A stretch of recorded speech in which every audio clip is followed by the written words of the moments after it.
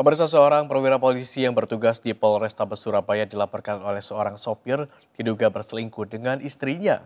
Saat laporan, sang suami membawa bukti kuat yakni foto di kamar hotel dan bukti pesan pendek mesra di ponsel.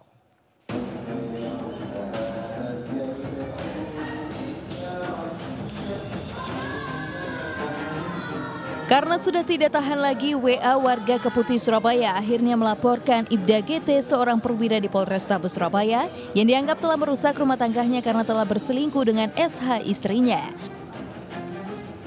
WA menyertakan bukti-bukti perselingkuhan berupa pesan pendek mesra di handphone serta foto dengan Ibda GT di sebuah kamar hotel. Kecurigaan WA bermula saat istrinya kerap pulang kerja larut malam. Saat membuntuti ternyata istri WA dibonceng Ibda GT.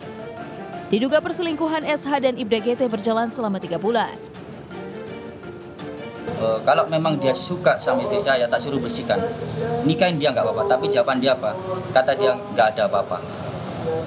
Selepas itu uh, ternyata apa? Uh, saya punya firasat bahwa ada sesuatu di HP istri saya.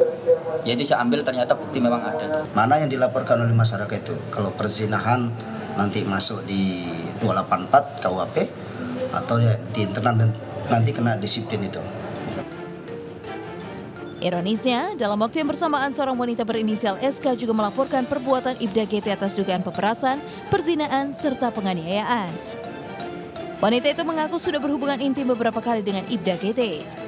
Selain uangnya habis diperas puluhan juta rupiah, ia pun dijanjikan akan dinikahi oleh Ibra GT.